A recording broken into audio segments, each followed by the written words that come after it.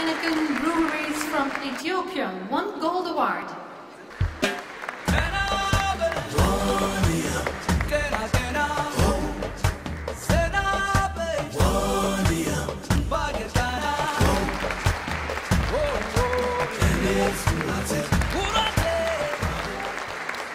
ሞንድ ሴሌክሽን በዓለም አቀፍ ደረጃ በጣም ታዋቂ ሽልማት ነው።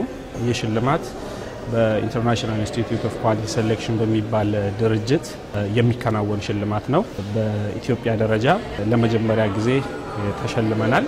የወርቅ ሜዳል ሽልማት ተቀባይ በመሆናችን በጣም ከፍተኛ ኩራት ይሰማናል።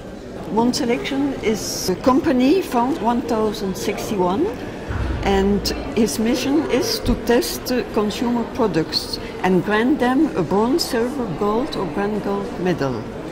The quality label awarded by a totally independent professional jury offers the consumer and the producer numerous advantages. ዋሊያም በጣም የተለየ የሚያደርገው ሙሉ በሙሉ ከገብስ ብቅል የተመረተ ምርት መሆኑ ነው።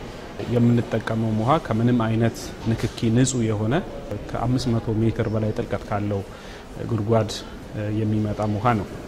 ይሄ በጣም የተለየ ያደርገዋል ዋሊያን። ከዚያ ውጭ ደግሞ የምንከተለውም ቴክኖሎጂ የ Heineken ን በዓለም አቀፍ ደረጃ ሁሉም ቦታ ላይ በተለያዩ ደረጃዎች የሚጠቀማቸውን የጠመቃ ስርዓቶች መከተላችን ዋሊያ በጣም ለየት ያደርገዋል። ገበሬዎቻችንን በመደገፍ በተለይ በ public private partnership በምንለው ገብሱን ቀጥታ ከምርቱ ሂደት ጀምሮ እስከ መሰብሰቡ ድረስ ድጋፍ እንሰጣለን ማለት ነው። በዚህም ምርጥ ዘሮችን ከውጭ በማስመጣት ጥሩ የሆነ ምርት እናገኛለን።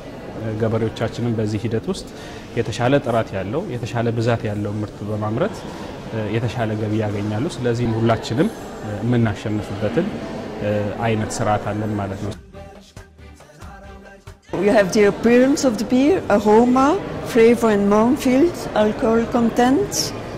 That's the basic uh, taste profile. Then you have the head and head retention, the color and the brightness.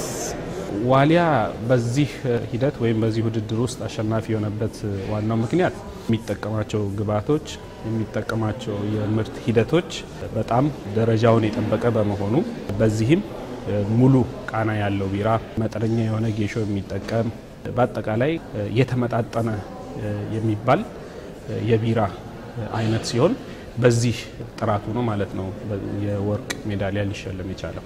ኢትዮጵያ ቢራ የማምረት ረጅም ታሪክ ያላት ሀገር ናት። በአሁኑ ጊዜ ደግሞ በዘመናዊ መልኩ የዘመናዊ ቴክኖሎጂን በመከተል በሀገራችን ልጆች ተመርቶ በዓለም አቀፍ ደረጃ ደግሞ እንደዚህ አይነት ጥራቱን የጠበቀና ሊሸለም የበቃ ምርት ማምረት በመቻላችን በጣም ትልቅ ኩራት ይሰማናል። ምርታችን ለዚህ ሽልማት ይበቃ ዘንድ ከፍተኛ አስተዋጽኦ ያበረከቱትን ገበሬዎች፣ ሰራተኞች፣ አከፋፋዮች፣ ደንበኞቻችንንና ሁሉንም ባለድርሻ አካላት እናመሰግናለን።